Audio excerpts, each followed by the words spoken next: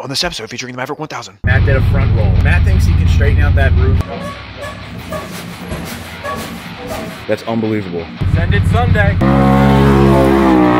I just cut the front section off. Holy hell. Oh.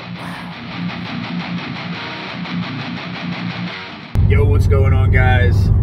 I'm actually driving Matt's car right now. If you guys watched the last video, you saw we sent the Maverick full send, man.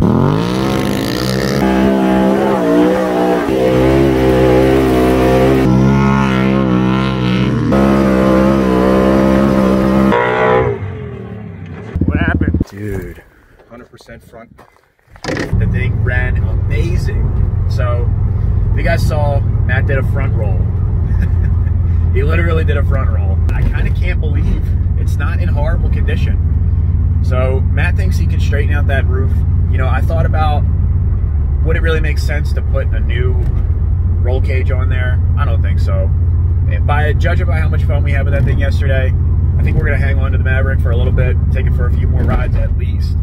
And I don't, I don't think it would be wise to spend like six hundred to thousand dollars on a new roll cage because realistically, man, those things are made to roll, and it's very possible that it may happen again. So we're gonna see if we can straighten it out. Matt's a pretty handy dude. Um, he's pretty capable, and he's got a forklift. He's got a lift and everything. So he thinks that we can straighten that out, and I bet you we can make it look like it never even happened. And then I'll have to figure out what I'm gonna do with the roof because the corner's snapped off. I'm not really sure if I can revive that and make it. I could probably make it look okay, but I might just go ahead and make an entirely new roof. Uh, Matt said he might be able to get me another piece of that plastic, very similar, and we'll just remake the roof. So I'm gonna hightail it there now because apparently he's already started working. I think he's got the roof and the light bar off already. So I'll see you guys there. So we just got to Matt's, and this is what the plan is. You can see he already got the light bar and the roof off. It really doesn't look that bad. Um, but yeah, so the it looks like the impact is right in the middle, and it's directly down too. It's not going backwards. So we got a car lift, and Matt thinks it's going to take it right out. I hope so.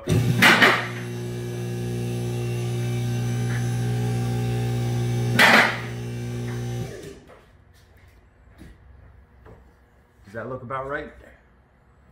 About centered? Where um, where you, you can see where the light bar or the uh, roof clamp was. I'm pretty sure that was the center.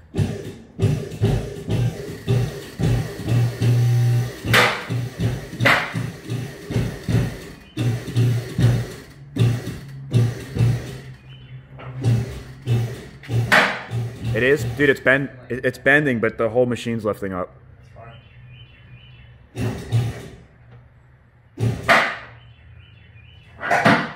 You're still, you're still, you can still lift.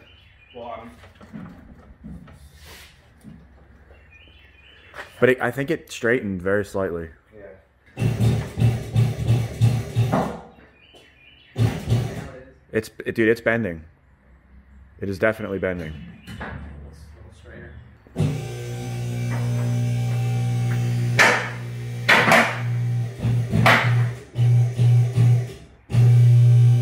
Off the ground. Um, this is going to sound really dumb, but uh, why don't Mike and I sit in it? That's 500 pounds, It is 500 pounds. just almost. All right. And you know how to operate.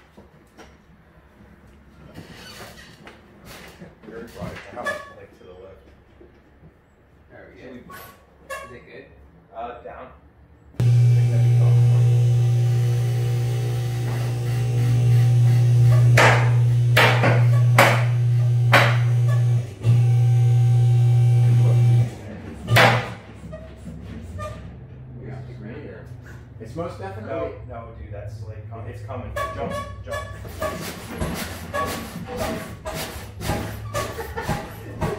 Dude, it has most definitely got straighter. There's no doubt about that. Up, up, down.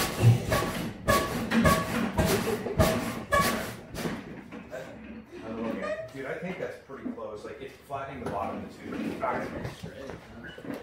Dude, it's it's literally Look at that. it's hanging.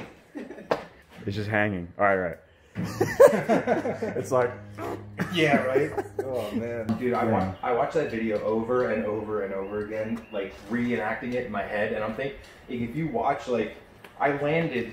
I was on the ground for like legitimately one second before like the drop off. Yeah. And I think like the suspension compressed a little bit, and then like as I went You were over, kind of hovering. Right. And then like I basically endoed down the hill, and then that whoop in the middle like sent me overboard. Because you have the good footage of like the, the area where it all happened. Yeah. Like how high would you say that hill was? Where you went down? Yeah. It was pretty steep and it was pretty long. Well, it, like And it was, height- it was whoopy. That was there was three whoops that were like top, the middle, and the bottom had like yeah. That's what that's what they did. you. I think you're right. Like the suspension, all the preload was out of the suspension. You kind of hovered over the edge, but your wheels were on the ground. Yeah. And then you went downhill, and then it probably compressed, and, and then. then boing. Yeah. Yeah. yeah. Yeah, shit. I, I'm like, uh, honestly, for what happened, you cannot be happier with this. Really, the only casualty was the roof. And then these brackets go there. We're supposed to put the light bar on and then just run it without the roof today. Yeah. I mean, we'll get a new piece piece of material, and you know, at least that's ninety nine percent in one piece, you know, together, so we can use it as a template. Oh yeah, that'll be no problem. Dude, I remember having this pie wedge in my hands in the in the coal banks, and I was like, I just threw it because I was so irritated at myself. I should have saved it. I would have had every piece to the puzzle. I really, I can't believe how well the bedliner held up though. I mean, That's prep, dude. Everybody's always giving me shit for spray paint, dude. That's spray on bedliner right there. Oh yeah, dude, it's all in prep, and it definitely shows. I mean, obviously, this is like equivalent to having like a screwdriver scrape across it. dude, more than that. it's like gouged. A heavy screwdriver. ripped out of the other side. These clamps. Wingers. Ten dollars for a thousand. That's unbelievable. It's like it never even happened. I don't know what you're talking about. Dude. Send it back to the rental company. I seriously just can't believe how well that fixed. And I just can't believe the light bar didn't break. I'm very. It's all that reseal job you did. Light bar for the win. Mr. Jones, Done. you're famous now. Um, I'm leaving it. Okay. Do you believe this? Did you Hey, see mom's taking, mom, say what? Did you see how this was? Yeah. It straightened right out. Yeah. Yeah. Well, we do, that's what we do. Um, I would say that's Jones fixed. Jones destroyed and Jones fixed. so he's gonna take Anthony for the first rip. Anthony's another one of our buddies. So he's never ridden in this thing yet. Send it Sunday.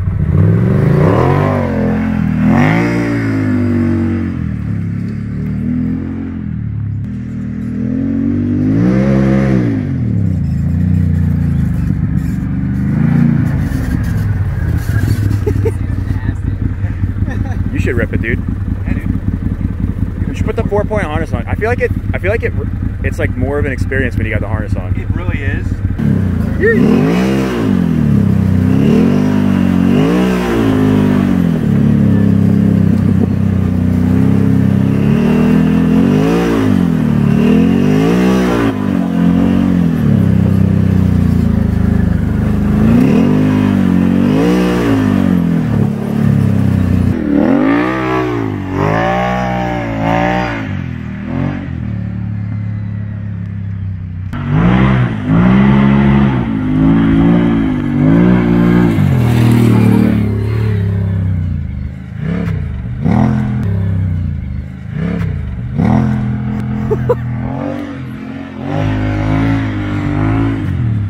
don't know, man. I think that looks pretty damn straight.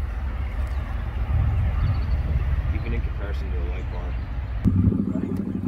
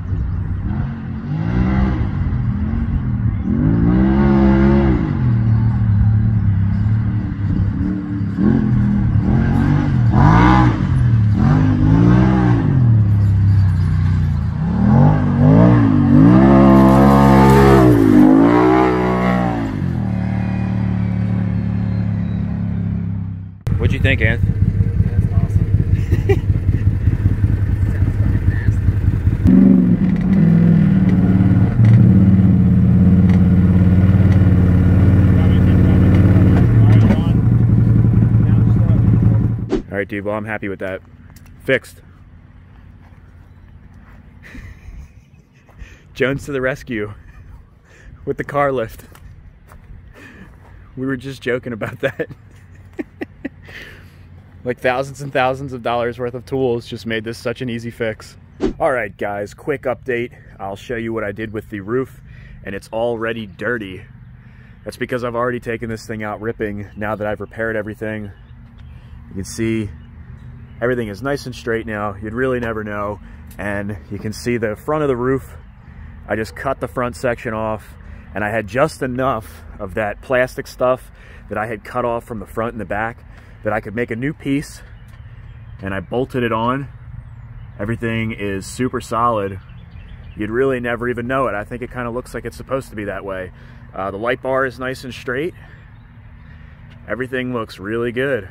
So yeah, like I said, we actually already took this thing riding again. We went to the Pine Barrens and man, we had some awesome trails. So there will be a video on that shortly. And I saw in the comments section from the riding videos, uh, some people were really mad at Jones and uh, saying it was like disrespectful and stuff that he crashed the machine and all. But dude, anytime that uh, you're willing to hand the keys over to a buddy, you got to be prepared for stuff to happen, man. It's just a part of the sport, and you got to remember, it's not like this is my daily driver, and I'm, uh, you know, depending on it every single day. And you know, Matt just totally, you know, ripped the machine. You know, this is a sport, and uh, you know, we, we, this is like a part of it. You know, like there's accidents, and no matter who it would have been, or even if it was worse and it was more damage, I still wouldn't have been mad because you know what, dude you get mad at a situation like that and it you don't it doesn't get you anywhere. All you got to do is just fix it.